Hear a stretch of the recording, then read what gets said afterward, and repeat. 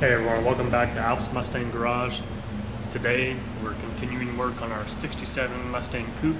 We're rebuilding the entire power steering system. Today we're going to remove the power steering pump and the hoses and just going to keep moving forward on this project.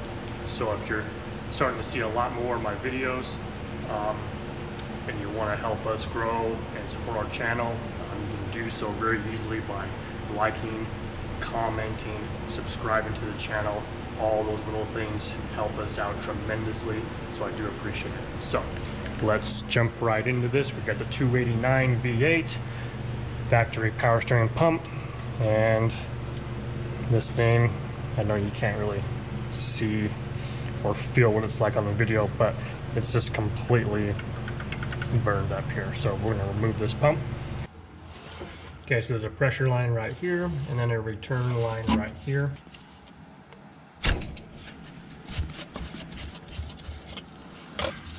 Break that free. Should be able to just thread that off. Just like that. And now on the return line, just looks like a standard hose clamp on that one.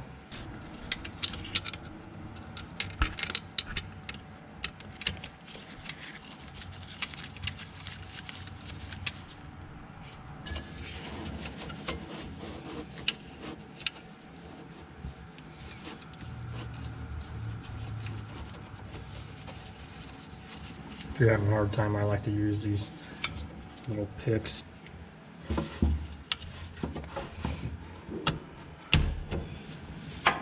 There, there's that hose off. This whole pump assembly is essentially going to come out with this bolt, and then there's a lower bolt down here, which is like your adjustment bolt. Normally, if you had your belt on, you would loosen this, loosen that, and then you would be able to just kind of pivot your whole pump assembly.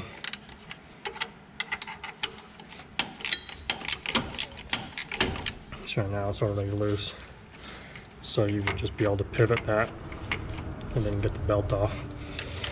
That's how you would normally do this.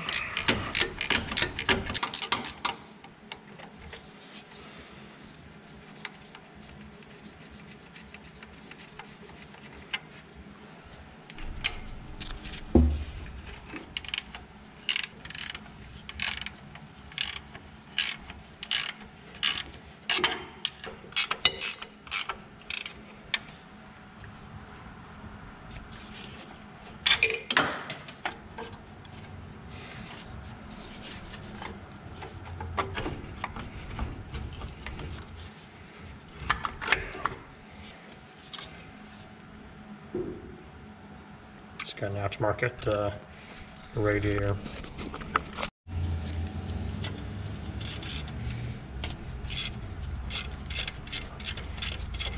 I'm gonna have to loosen this bracket.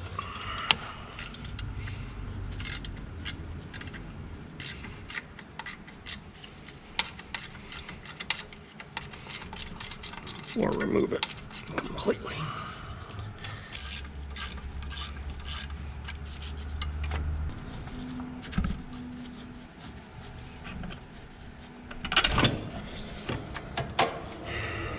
Okay, there you go.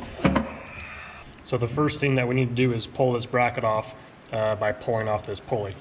So we have this uh, remover, pulley remover tool. I'm sorry, that's the installer. This is the remover tool. So we're going to install this like this. This is, these two pieces are lipped. It's gonna go around the flange of this pulley and the remover tool at the same time like that.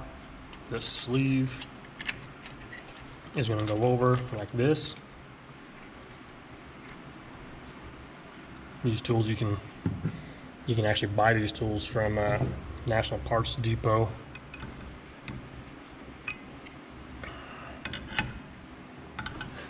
And then by hand you're just going to essentially tighten this bolt and it's just going to pull it's just going to pull that pulley right off okay so I just put this up here in the vise just so it's I can kind of wrench on it a little bit a little easier and hopefully you can kind of see that really well, how that's set up. Okay.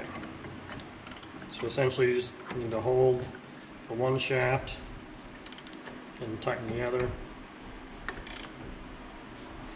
It's kind of tough, but that pulley, if you just kind of watch on the back side of it here, you'll actually see it starting to pull off.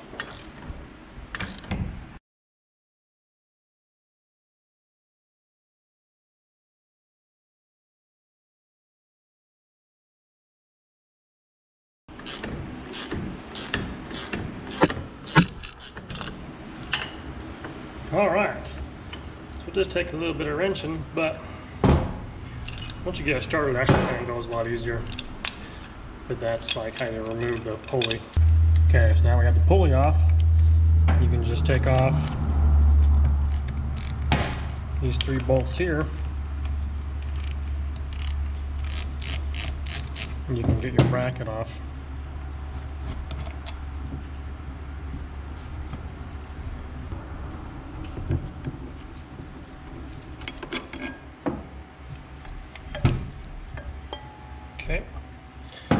Okay. Comes off, we'll set that aside.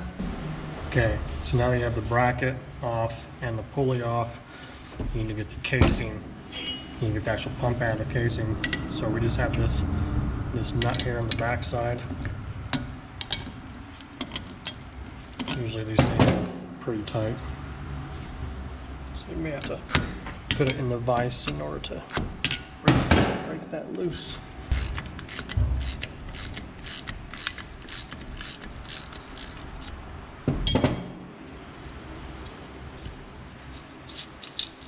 Okay, set aside. Okay, so getting the pump out of the actual case can be a little tricky. Um, there's an O-ring that goes around here and that sometimes is kind of overwhelming. So what I've done is kind of just use a wrench. I have this in a vise and I was able to turn the pump like that and kind of break that seal loose. So now I'm just gonna take my rubber mallet and just kind of hammer on the backside here.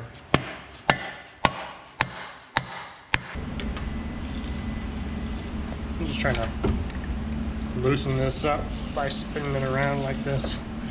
That old O-ring is probably pretty dry. This pump hasn't been in service for a number of years.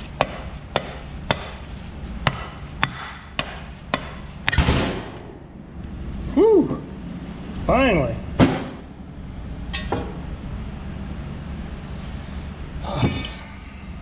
Okay, so that's how you get the pump out. You can buy these replacement pumps that uh, come in the case, but you can also get them like this. In our case, we got them like this. So we're gonna clean this case up and uh, get ready to install our new pump.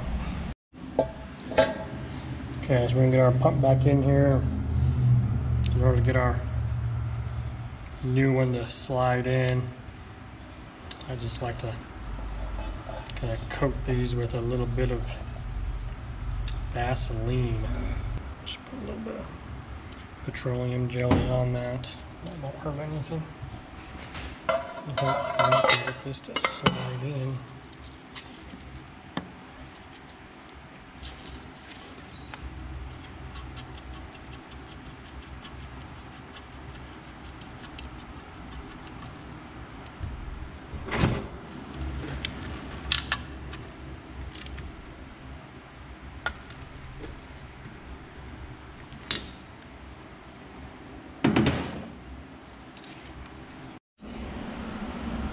Okay, so before you install this uh, power steering pump, make sure your gasket goes on the inside of the pump before it goes in the case.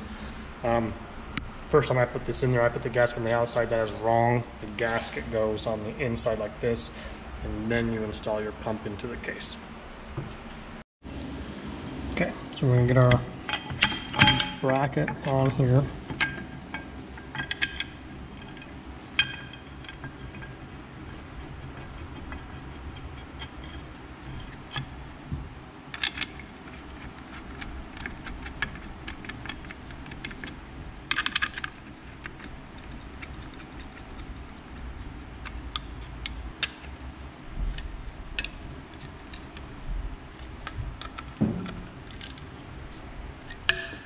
Okay, so you want to orient this uh, mounting bracket to be proportionate kind of with your your filler neck here.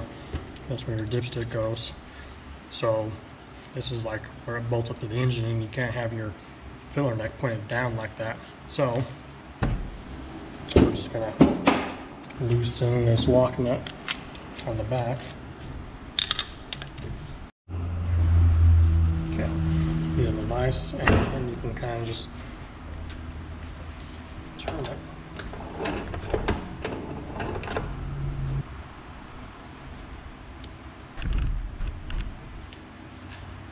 Kind of like that. Get it to where you want to.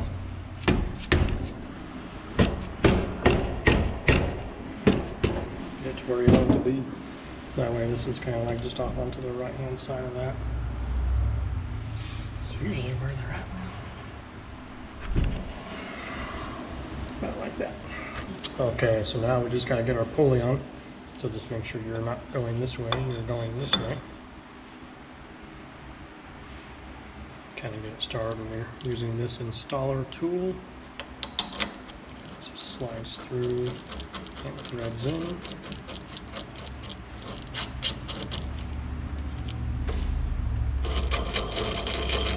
And then we're gonna slide that down on there. And Pretty similar to how we removed it.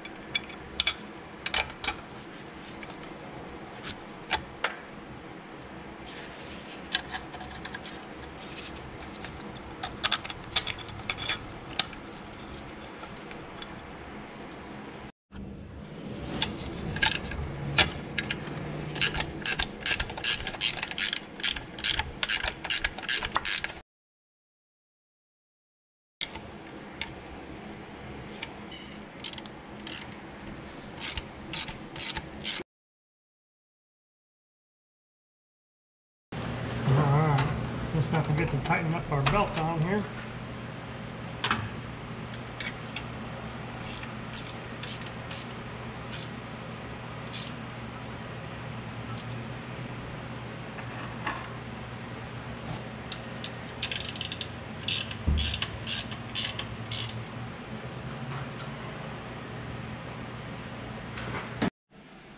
Okay, when you're ready to fill your power steering system, um, this is very important to note, and this kind of applies to any type of you know repair you may make on your power steering system, whether it's a pump or a hose or you know the, the cylinder or the control valve. Um, you're going to have some air in the system. You got to kind of work that out. So I like to get the wheels off the ground. You want to get the load of the vehicle off the ground. And so that way, you know, your system is unrestrained. It can safely purge all that air through. The only fluid I recommend is Motorcraft Type F. If, you know, you can't find any Motorcraft, then it's got to be Type F. But uh, the Motorcraft is the preferred fluid of choice. So once you get your fluid filled, before you start your engine, you can just kind of run your steering wheel back and forth.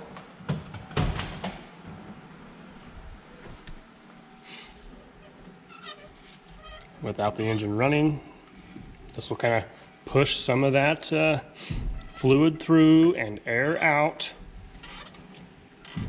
and kind of gets as much fluid in all the areas as possible. So you can do this several times. Once you're, you know, kind of purged and fluid's full and you're ready to start up for the first time, wheels off the air, and then your new pump is going to be working well and purging air, and it's not going to be immediately working super, super hard to try and get all that air out. And you know, you don't want to burn up your brand new pump. So.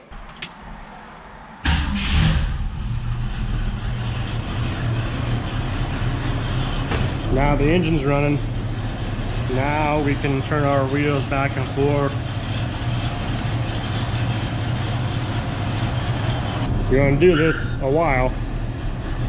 Just kind of go from one side to the other. Kind of works out fluid into all the places and gets all the air out of the system. Okay, well, power steering works great on this. Uh, pumps are actually pretty pretty easy, easy to do when you have the right tools and kind of see how it can be done. So anyways, as always, uh, we're here to help keep your Mustang on the road, out of the garage, and we'll catch you next time.